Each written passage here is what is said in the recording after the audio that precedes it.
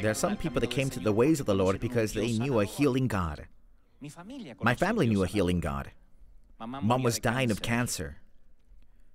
She had intestinal polyps, womb cancer, breast cancer, and she was about to die. But God intervened. We knew God the healer. Mom is more than 80 years old and lives up to this day. she didn't die. Others know a prosperous God, a God that, through a biblical principle, begins to prosper them. But there's a facet of God, not less important, that the Bible mentions in the book of Exodus 34 14. You won't see many preachers talk about this facet of God. You will on God the healer, the prosperity God, the God of peace.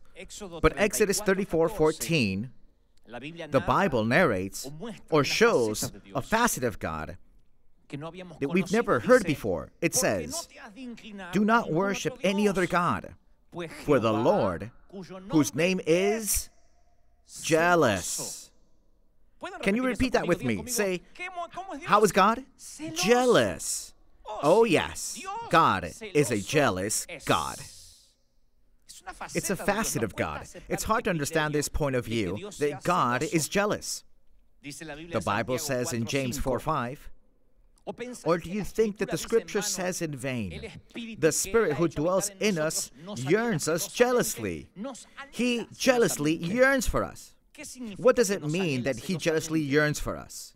It means that when we say we are with Him, but during the week we have impure thoughts or things that don't please Him, He feels we're being unfaithful to Him. In fact, the Bible says, Oh, you adulterous people, don't you know that friendship with the world is hatred toward God?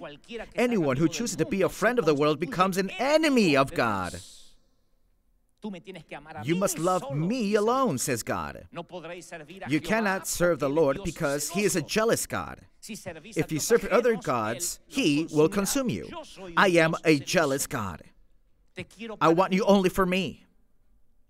I want your eyes to be purified only for me.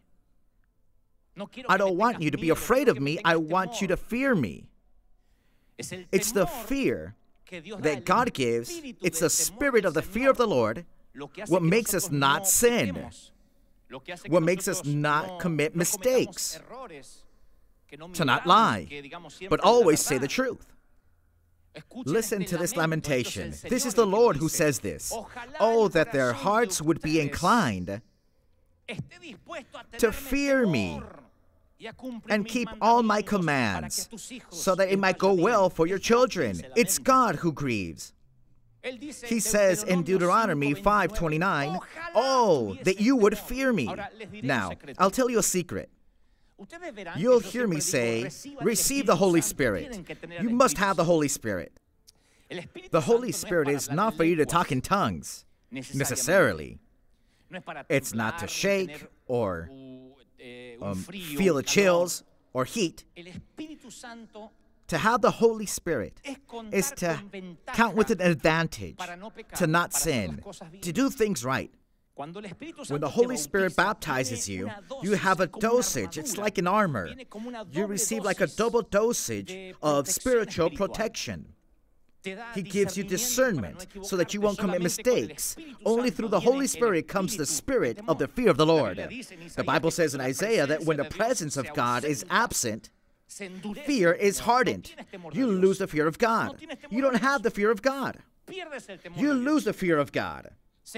I know someone is thinking right now, listen, Pastor, the God of the Old Testament is the God of fear. The God of the New Testament is the God of love. But both testaments have the same dosage of love and fear. In fact, it was Jesus who said, I tell you, do not be afraid of those who kill the body, and after that they can do no more. But I will show you whom you should fear not to those who can give death, but after death. You have to fear the one who, after death, can throw you into hell. Oh, yes, I tell you, fear him. Jesus said that. There's only one who can throw you into hell. Only one. The devil can't throw you into hell. Only one has the power to throw you into hell. And he said, Fear him, Jesus said. Ananias and Sapphira was a couple that lied. They lied to the apostles and they committed the error of lying to the apostles in the days of the Holy Spirit manifestation. The Holy Spirit was manifesting, the glory was there, and they lied. And when they lied, they fell dead. And Peter said, I want you to know that you cannot lie to the Holy Spirit. And the church was consolidating because they lived in the fear of the Lord. They lived in the fear of the Lord. Are you listening to me? Say amen. Now, this is the point, ladies and gentlemen. Why did I name this sermon The God of the Three Links? Because every time God touches a person, and I'll prove it right now, as a consequence, you'll make sure that your children will be touched and your grandchildren as well. The three generational links. Always. God is the God of Abraham, grandfather the God of Isaac, father, the God of Jacob, son. Every time that God touches, He touches at least three generations. Now, you know how. How can you make sure that your children will have the fear of a jealous God? How can you know your children will fall into drugs? How can you be sure of what sites they are navigating through the internet during the week? What text messages are they sending? How can you make sure that your daughter will keep her virginity until marriage? How can you be sure that your son won't ask to have sex? What can you teach a son when he sees that his father has no fear of God? Because what gets recorded in your mind is the fact that your father had the fear of God or not. Psalms 34:11 says, "Come, my children, listen to me. I will teach you the fear of the Lord." One generational link is not enough for God to fulfill his purpose. God needs father, sons, and grandsons. The Bible says, "You have taught me from my youth." And even when I am old and gray, do not forsake me, O God, until I declare your strength to this generation, your power to all those who are to come. How can you show God's power to those who are yet to come? This is the secret. If I do my job right, and the word that I'm transmitting is the word of God, and the Holy Spirit does His part good, and we work together as a team, and He gives you the spirit of the fear of the Lord. That fear of the Lord will stay in your home, in your things, in your business, in whatever you do, and your children will observe it. Your son maybe doesn't come to church here, but he'll observe a dad that has a fear of God, a mom that fears to be unfaithful to God, and that will be forged in their minds and they will teach that to their children. In other words, your grandchildren. As a consequence, people, I just preached to those who are yet to be born. I just did it in this very moment. That's what the Bible says. Are you with me? Yes or no? Wow. You might say, well, you can preach on video. And in the future, my grandchildren will see you on a video. It's not the same. They'll just listen to a preacher. Blah, blah, blah, blah, blah, blah, blah. They'll listen to what's heard at home. There's something in the life of a grandfather, father, and son, Abraham, Isaac, and Jacob. Surely, Jacob, in certain occasion, he was protesting to his father in law, and he said this If the God of my father had not been with me, the God of my grandfather Abraham, and the God whom my father Isaac feared, you would surely have sent me away empty handed. That's how Jacob once stated in a certain occasion. If I had not feared the God of my grandfather Abraham and the God that my father Isaac had greatly feared, man, things would have gone wrong. What a great job did Abraham do! In such a way that three generations remembered the fear that their grandfather had. Then further on it says that Jacob took an oath in the name of the God who his father Isaac feared. How did Isaac live to record in the mind of his son the paradigm of a father fearful of God? How did he live? Because it was a testimony of his father that was like a brush that painted in the mind of Jacob the prototype of a patriarch that trembled in the fear before the presence of God. The fear of his father recorded in the mind of his son a testimony that would last for generations. Brian, my oldest son, says he's going to be a Hollywood movie director. He is going to direct movies. I don't know if he's going to accomplish it or not.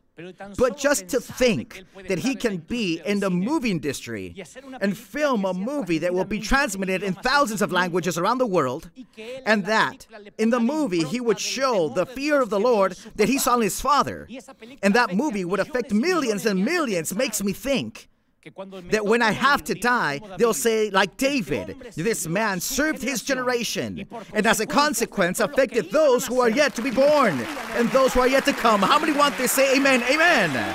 It's a God of three links Father, Son, and grandson.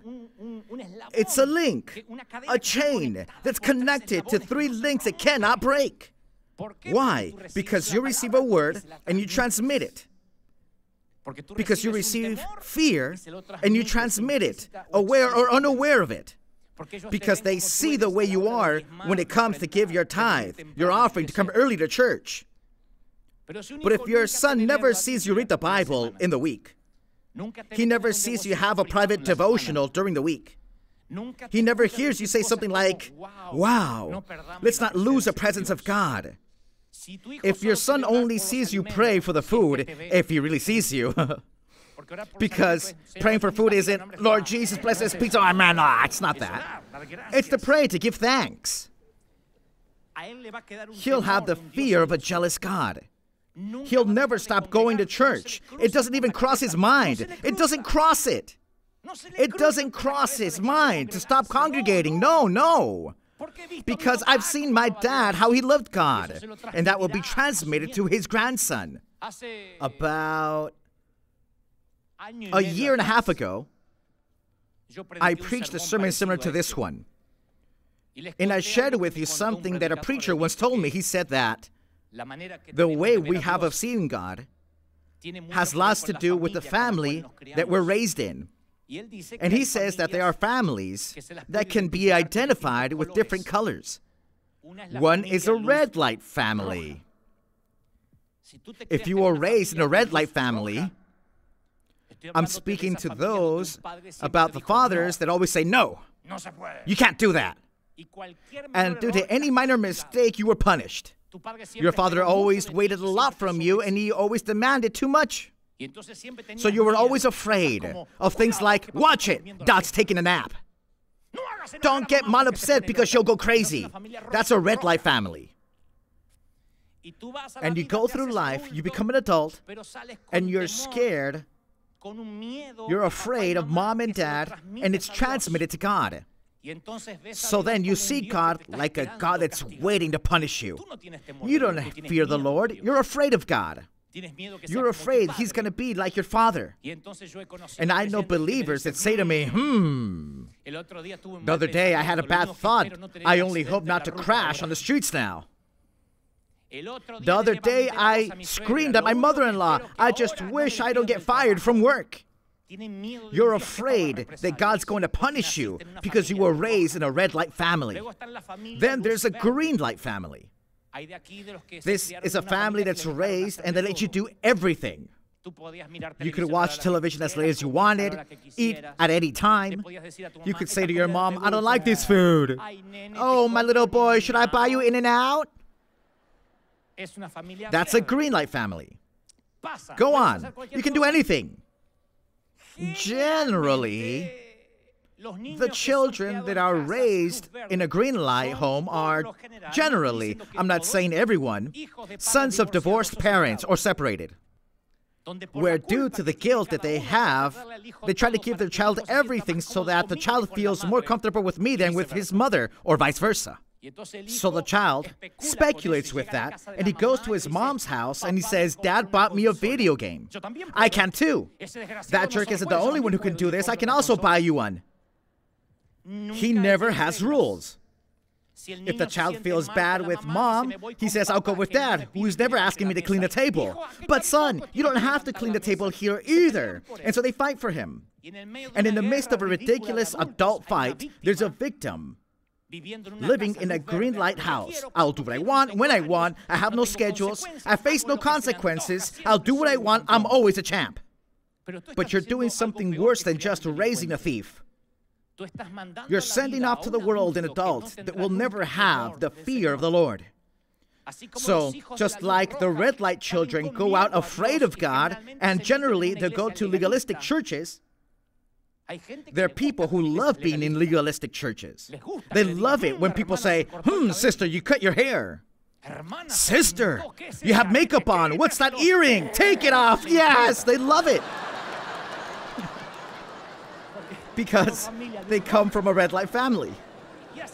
And because the red light is like that, the green light is, I'll do what I want. Hey! And they face life with no fear of the Lord. One day they become youth leaders, and someone will say to them, I feel like having sex, and he'll say, Use a condom. Why? Because all his life, they let him do whatever he wanted. Once a mother said to me, I prefer for my. Listen, this is true. Like everything I'm saying, but I just have to make it clear that this is true because it sounds like a joke. My mother said to me, I'd prefer for my daughter to have sex with her boyfriend in her room than to know that she might be in a car or in a cheap hotel somewhere. So the kid came in. Hey, what's up, mother in law? I'm headed towards the room. Don't interrupt me. And he would go in.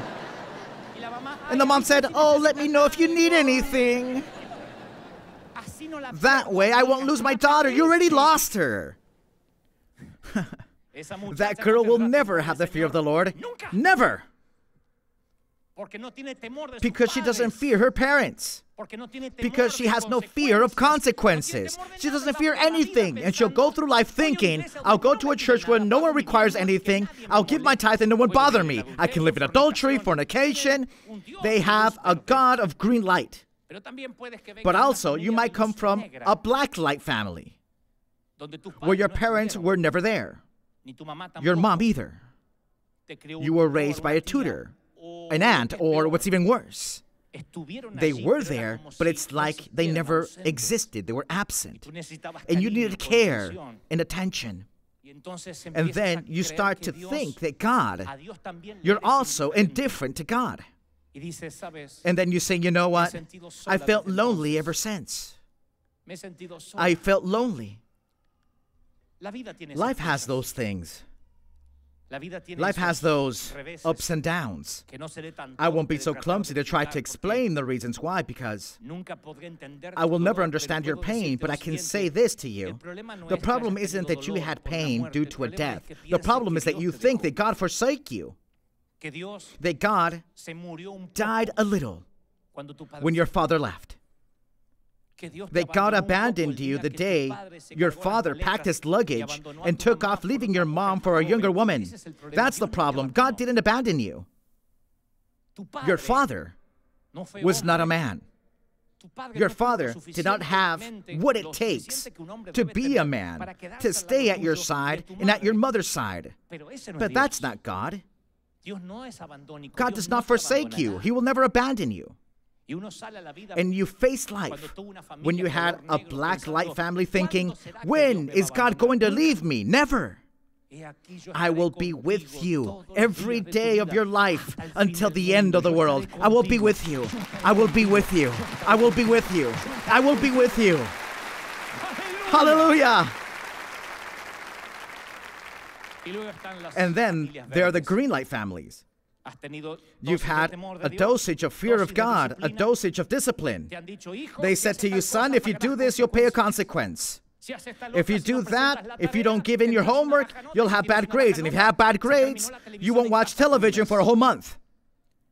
That is not a red light family that screams at you. That's a family that knows how to discipline. Son, at dinner time, all of you must be around the dinner table and disconnected from electronics. I don't want children with iPads or kids with cell phones on the dinner table because your son can be at your table sending text messages with someone else and he's not even there. He's just lending his body, but he's not there.